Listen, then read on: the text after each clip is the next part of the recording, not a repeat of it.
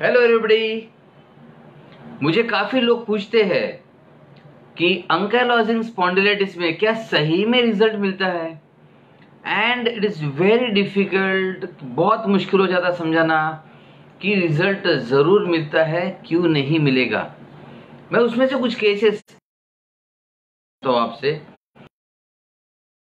एक patient अंकालॉजिंग spondylitis है। वो काफ़ी स्टिफ हो चुके थे। नेक भी इन्वॉल्व हो गई थी शोल्डर भी इन्वॉल्व हो गया था, दोनों गर्दन पीठ सब इन्वॉल्व हो गई थी और स्टिफ हो गया था काफ़ी। और ऑब्वियसली उनको बिलीव नहीं था। खुद एक डॉक्टर थे और उनका, उन्हें तो ऐसा लगता था कि उन्होंने सब कुछ पढ़ लिया।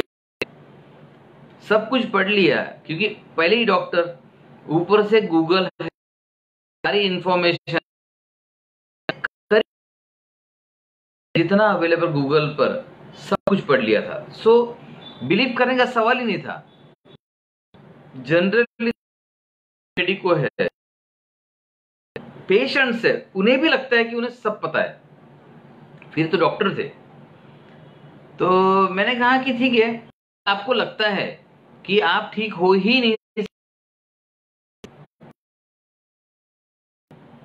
मतलब लगता है कि आप ठीक नहीं फिर आगे क्या प्लान है? उन्होंने कहा सर क्या प्लान क्या है? अभी तो मैं स्टीरोइड ले रहा हूँ बायोलॉजिक्स भी ले लिया कुछ हुआ नहीं। मतलब फिर भी आगे क्या प्लान है? उन्होंने कहा सर कुछ नहीं प्लान तो कुछ भी नहीं है। मैंने कहा फिर भी अभी जो दवा ले रहे हैं इससे आगे क्या होने वाला है? तो उन्होंने कहा सर अभी देखिए बायोलॉजिक्स भी लिया है रिस्क तो होती है। आ, मतलब बायोलॉजिक्स लेने में मैंने कहा रिस्क कितनी है बायोलॉजिक्स में? बोले सर रिस्क तो काफ़ी है। मतलब ये भी देखा गया है कि बायोलॉजिक्स से टीबी होता है बायोलॉजिक्स से कैंसर भी हो सकता है। कैंसर होने की भी संभावना होती है। मैंने कहा, फिर आगे क्या प्लान है? बोला, आप सिरोइड ले रहे उससे क्या होगा आगे? तो मैंने कहा, देखिए, आपके पास जितना आप कर रहे हैं या कर चुके हैं, उससे चांसेस आपको है टीबी होने के कैंसर होने के किडनी खराब होने के। इसके अलावा भी बहुत रिस्क है। रिस्क तो है, हार्ट इन्वॉल्व होता है रूमेटेड में। तो इस तरह के रिस्क तो है, इन्वॉल्वमेंट तो होता है। तो क्या करना है? तो उन्होंने कहा कि, सर, अभी आगे कुछ नहीं करना, इसलिए तो मैं आपके पास आया हूँ। मैंने कहा था आगे कुछ करने के लिए आए हैं या मेरी परीक्षा लेने आया है कि सही में मैं कुछ कर सकता हूँ क्या? मतलब अगर परीक्षा लेनी है तो दो रास्ते थे ट्रीटमेंट ज्वाइन कीजिए। नहीं पॉसिबल है। अगर ये पॉसिबल नहीं होता तो पूरे वर्ल्ड से पेशेंट क्यों आते? हर उस दिन बांग्लादेश से पेशेंट यहाँ पर आया था। इसी टेबल पे बैठ के मैंने उससे बात की, नागपुर में। थाईलैंड से पेशेंट इसी केबिन में आया था और मैंने बात की थी। अगेन कैंसर का पेशेंट था, दूसरा जो था बांग्लादेश से जो है वह तो से। और माउथ टू माउथ पब्लिसिटी से आ रहे हैं। क्योंकि मैंने साइंटिफिकली सब समझा दिया था कि किस तरह से माइंड बीमारी क्रिएट कर सकता है। देखिए, वो डॉक्टर थे। मैं आपको पूछता हूँ, क्या माइंड बीमारी क्रिएट कर सकता है? चलिए, आपको थोड़ा डिफ़िकल्ट लगेगा ना, ये मैं सिंपल करता हूँ। क्या टेंशन से बीमारियाँ होती है? अब जैसे ही टेंशन से बीमारियाँ होती है, क्या पूछा सबको पता चल जाएगा? ये यस सर होती होती है। दूसरा क्वेश्चन क्या स्ट्रेस से बीपी शुगर जैसी बीमारी हो सकती है? तुरंत सब मानेंगे यस यस यस सर हो सकता है। तो मैंने आप माइंड से बीमारियाँ होती है टेंशन से बीमारियाँ होती है, इसलिए रिसर्चर्स ने बताया है कि 85 टू 90 परसेंट बीमारियाँ मनोशारीरिक होती है साइकोसोमैटिक होती है मतलब माइंड से शुरू होकर बॉडी पे जाती है। डू यू एग्री डॉक्टर थे वो, उन्होंने कहा हाँ बात तो सही है। मैंने कहा कि अगर आपकी भी बीमारी है तो 90 परसेंट चांस ये भी साइकोसोमैटिक है। बोले से तो ऑटोइम्यून है। मतलब फिर भी? बोले हाँ सर, हो तो सकता है। क्यों, मैंने भी देखा है कि जब भी मेरा मूड अच्छा नहीं होता या जब भी मैं नर्वस होता हूँ डिप्रेस होता हूँ तो मेरा पेन ज़रूर बढ़ता है, ज़्यादा होता है उस दिन। मैंने कहा यू आर राइट इसी का मतलब है, इसी का सबूत है कि जब भी आपका मूड ठीक नहीं रहेगा, आपका माइंड एक लो स्टेट में रहेगा पेन बढ़ेगा।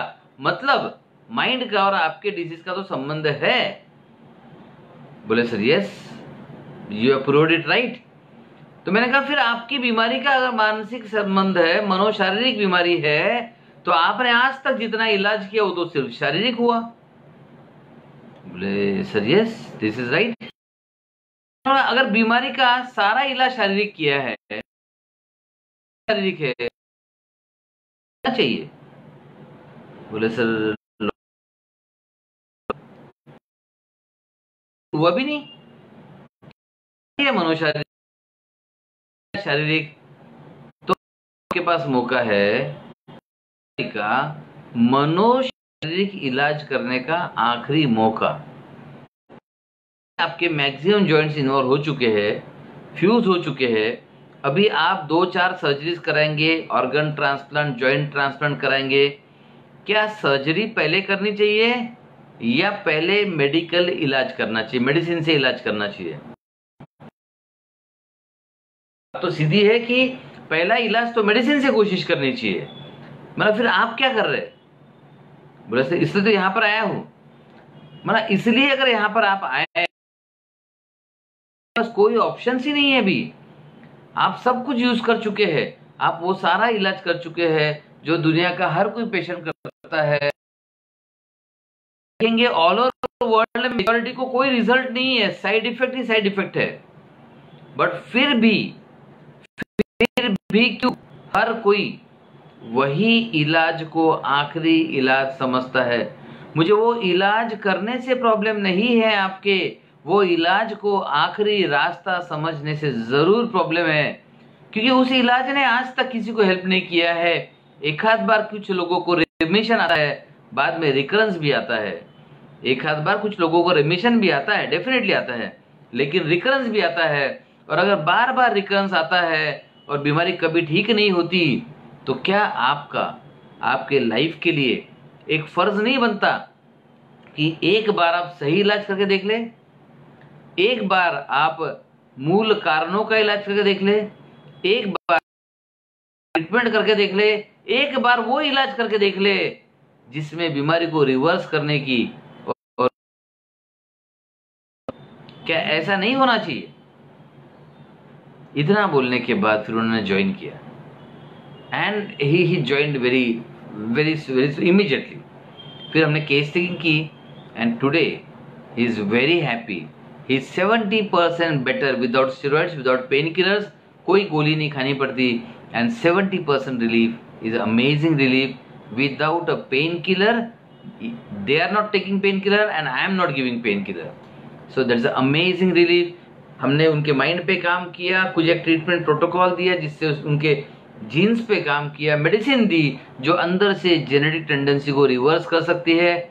और सबसे मज़े की बात, अब वो बहुत खुश है बिकॉज़ अब उन्हें रिज़ल्ट देखना शुरू हो गया इससे हमें एक ही सीखने को मिलता है कि कोशिश अगर आपने नहीं की तो रिज़ल्ट तो ज़ीरो मिलेगा।